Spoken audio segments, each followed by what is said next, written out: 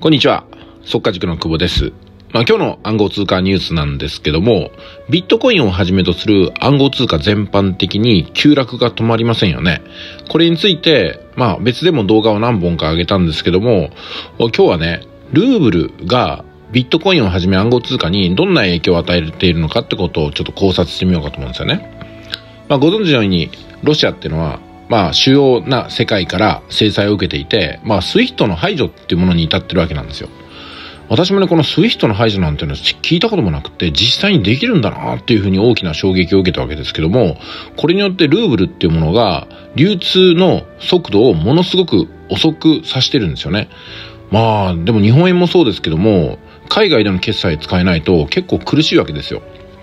え実は日本とロシアってのはエネルギーに関してましては真反対な立場をとってまして、日本はエネルギーが自国内でほとんど生産できませんので輸入に頼ってるんですよね。その代わり、それ以外のことは国内で全部できちゃうわけですよ。うん、で、こういった立ち位置。それからロシアはね、エネルギーはあるんですよ。エネルギーはあるんですけども、その他のものがないんですよ。ですんでエネルギーを売ることによって、海外のお金や資源ってものを国内に調達するっていう立場を取ってるんですよね。まあ、そうなってくると、日本も円っていうものがスイフト排除されちゃうと、ニッチもサッチもいかないように、同じような状況として、まあロシアもね、今ニッチもサッチもいかない状況なんですよ。人口は1億4000万人ぐらいですから、内需がないとは言えないんですけども、ただ、それもですね、海外の資本や資源が入らないと、干上がってしまうっていうのが現状なんですよね。えー、特に家電製品、車、船、飛行機は修理が不能になってるんですよ。で修理の部品とかテクノロジーっていうのは海外からずっと輸入してましたんでね。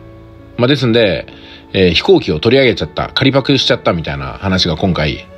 えー、ロシアにもありましたけども、実際にロシアに貸し出されてる飛行機を差し押さえたところで、飛行機ってのはメンテナンスがいるんですよね。で、空港から空港へ動かないと飛行機も単なるガラクタなんですよ。そう考えた時に、ロシア国内での移動にしか使えないとなると、そんなに飛行機の需要あるかなと思ったら、差し押さえた500機とも言われてる飛行機が全部ね、余っちゃってるんですよね。で、余っちゃってると空港に置いとくわけですから邪魔でしょうがないのと、置いとくだけでも老朽化進むんですよ。そうなるとメンテナンスが必要になってきたり、定期的なあ修理が必要になったり、消耗品の交換が必要になったりするんですけども、それも一切合切できないと。で、その辺についてはね、今回はちょっと趣旨が違うので話を戻して、暗号通貨全般のことについてお話してま、まとめていこうかと思います。えー、ロシアがね、経済制裁を受けるときに、暗号通貨ってものを隠れ蓑にしてね、ルーブルをビットコインをはじめ暗号通貨に交換しといて、そして、えー、暗号通貨でもってね、多少のボラティリティは確保しながらも、ドルや円やユーロに決済しようという目論みは簡単に考えつくとはと思うんですよ。で、多くのルーブルのホルダーさんがビットコインをはじめとする暗号通貨、様々なものを買いました。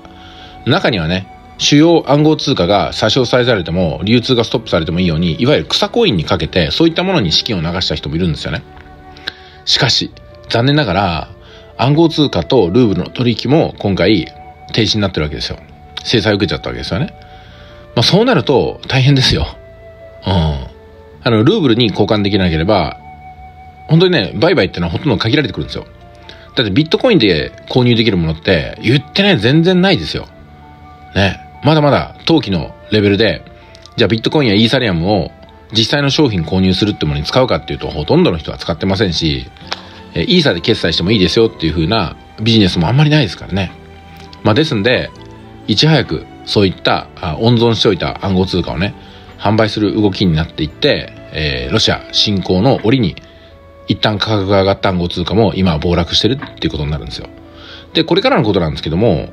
まあ、暴落も暴落しきっちゃうと、あとはね、低い、えー、価格で暗号通貨も、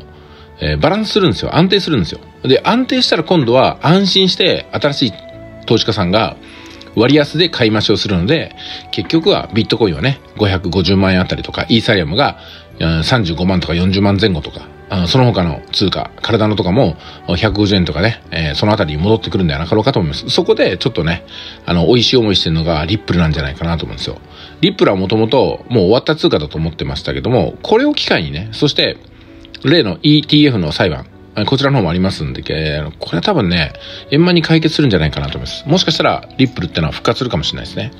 まあそういった形で見てますんで、今、あ価格が落ちちゃったっていうふうにね、ビビってらっしゃる方、安心して買いますばいいんじゃないかなと、私は心の中で思ってます。ただ、誰の責任も持てませんので、経験にね、えー、私の判断を鵜呑みにしないようにしてくださいね。私は今回の暗号通貨の暴落によって、まあ、買い増しやしないまでもね、もっともっと安値で買ってるんで私は。買い増しはしないんですけども、まあ、今まで暗号通貨を買い損なっちゃった方っていうのは仕込み時なんじゃないかなと思います。例えば、ビットコインが350万なんてのは絶対買った方がいいですよね。イーサリアムが、例えばね、30万割ることがあったらもうしっかり買った方がいいと思いますね。うん。その他、他の資産がないかあるかによっても、暗号通貨は何を買ったらいいかっていうのもだんだん分かれてくるんですけども、まあ基本的にはね、あのー、今、バーゲンセールが始まって、これは夏の時期に急回復していくんではないかなと思いますけどもね。まあ、皆さんどういうふうにお感じになってますかまたよかったらコメント欄で教えていただければと思います。それでは失礼します。